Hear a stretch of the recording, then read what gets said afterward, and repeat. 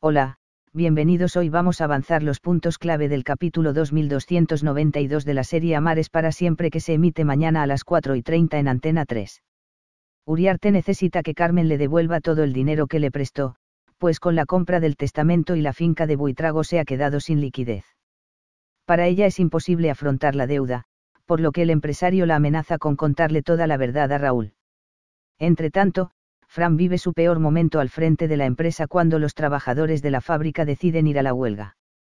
El joven busca la forma de solucionar la crisis, un consejo de Manolita parece darle la clave. Así, tras su conversación con Manolita, Fran visita a Carmen buscando consejos sobre cómo afrontar el conflicto con los trabajadores, mientras, Raúl llama a su madre para decirle que se quedará de forma indefinida en Buitrago. Por otro lado, Cristina informa a Penélope que tendrá que declarar ante la policía. La mujer se niega a ir en contra de Santiago, pues sigue pensando que lo que hizo está justificado. A la par, Cristina decide aceptar el caso de Marcos Salaverría al ver una noticia en el periódico sobre su nuevo abogado. Después, Ismael visita a Penélope, pero ésta lo rechaza. No puede perdonar que sea un asesino.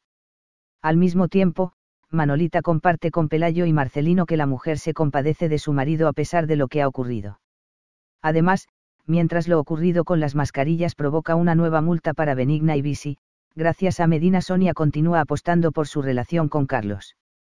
No olvidéis darle un like a este vídeo, compartirlo y suscribirse al canal y activar la campanita para que YouTube os notifique de mis nuevos vídeos.